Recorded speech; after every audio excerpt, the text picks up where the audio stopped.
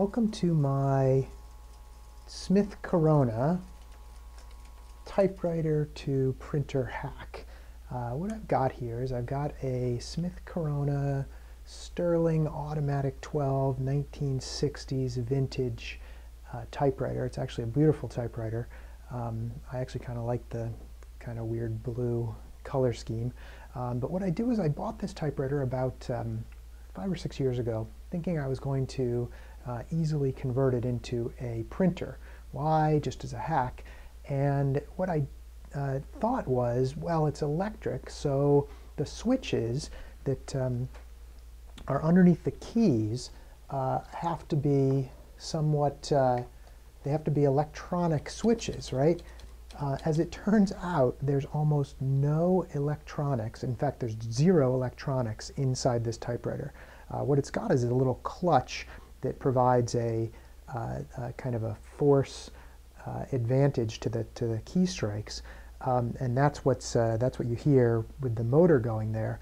Um, but all the keys are actually mechanical, and there's no electronic switching at all. So uh, after kind of scratching my head about it and, and trying to figure out what the story was uh, for for on and off for a couple years, just kind of tinkering, um, I finally, uh, with the help of um, a colleague of mine, Bruce Molay, uh, decided that uh, the solenoid route was going to be the uh, the way to go. And and what these are is just I just put um, uh, turns out 48 solenoids on this laser cut uh, acrylic kind of holder here. Uh, set them you set them on the key keyboard like this, and um, the rest is about electronics and a little bit of software and Arduino. The, uh, as you can see, it types pretty well. Um, every so often it seems to miss a key here and there, but that's probably a uh, mechanical issue rather than a hardware issue at this point. Um, what I did was I built a little custom PCB here. You can kind of see this is actually um, a bunch of shift registers. And the shift registers actually uh, basically shift in the proper key, uh, the bit for the proper key, and then um, as and then they actually uh, open the shift register uh, latches, and that the key that's been shifted in actually gets uh, gets struck, and it's uh, the controller is actually just kind of a standard Arduino Uno. Um, you'll notice I also have a bell here. Uh, the typewriter does have a bell, um, as they all do. Uh, but the bell is used for kind of a special extra part of the project that, um, that uh, is in the other video. Um, but uh, what it can do is it actually can print to the uh, print from the um, computer. I can print whatever I want. Um, let's try Hello World, and there we go. And of course, it looks like it missed a comma in there.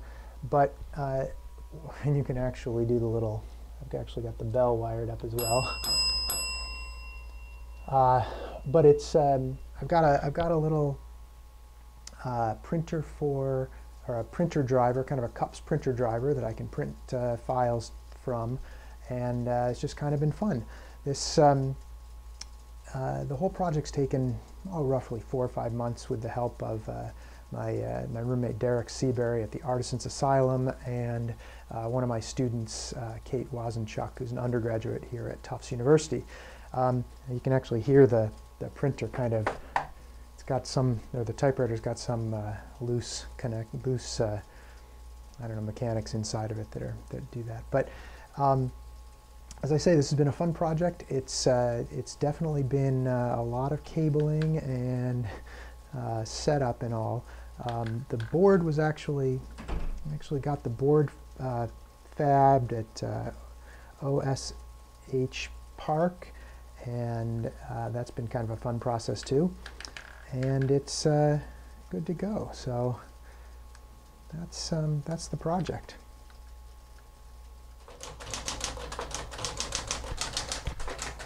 Another interesting thing about this project is that uh, typewriters are, are interesting in that they're, if you look at the keyboard themselves, so for those who've never used a keyboard or a typewriter before. You might not know this, but if you notice, see if you can see here, if I can zoom in here, you'll notice that, notice what key it actually starts on for the numbering. It starts on key number two, and there is no one. It's because the lowercase l actually doubles as the one digit. Why do they do that? I suppose to save keyboard space, and that's the way the old mechanical keyboards uh, went. It's also interesting to notice that comma and period are doubled on the thing, so they, on the key, so they actually could have used uh, two extra spots on there. Um, the other thing that's interesting is there isn't any exclamation point, which normally would be what, above the one. So there's no exclamation point, but the, the way you type an exclamation point on these typewriters is you first type a uh, apostrophe, then you type a backspace, and then you type a period. Okay, let me demonstrate that for you. I'll type a bunch of uh, bunch of exclamation points here.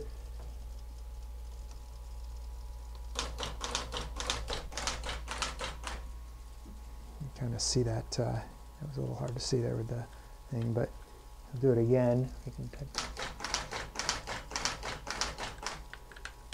And you can see that it's typing the uh,